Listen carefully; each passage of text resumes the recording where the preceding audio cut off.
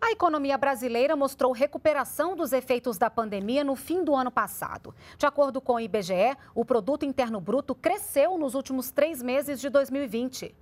A recuperação não impediu a queda de 4,1% do PIB em 2020. No entanto, o desempenho foi melhor do que países como Alemanha, Japão e México. Pandemia e o isolamento social fizeram cair o produto interno bruto brasileiro no ano passado, interrompendo uma trajetória de três anos seguidos de crescimento. Comparando com o período pré-pandemia, o último trimestre de 19, o PIB está no patamar 1,2% mais baixo, mas 10,4% acima do auge dos efeitos que foi no segundo trimestre. Em 2020, o setor de serviços encolheu 4,5% e a indústria 3,5%. Já a agropecuária voltou a ter um ano positivo e cresceu 2%, impulsionada pelas safras recordes da soja e do café. Apesar dos números negativos, o resultado do PIB ficou acima de algumas previsões, que apontavam uma queda de até 7%, e superou países do grupo dos mais ricos do mundo, como o Reino Unido, a Alemanha e o Japão.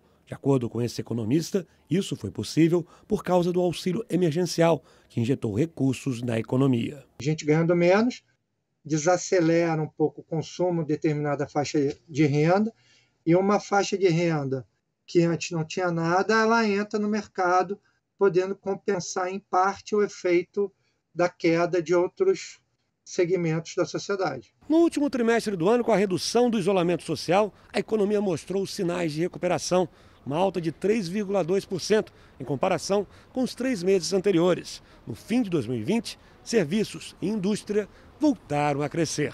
Outros destaques do último trimestre foram os investimentos, que tiveram uma forte alta, e a retomada do crescimento do consumo das famílias, que é um dos motores do PIB. Para 2021, a tendência apontada pelos economistas é de que a economia continue crescendo, mas para isso se concretizar, a vacinação é fundamental. Para que a gente possa voltar para o trabalho com segurança.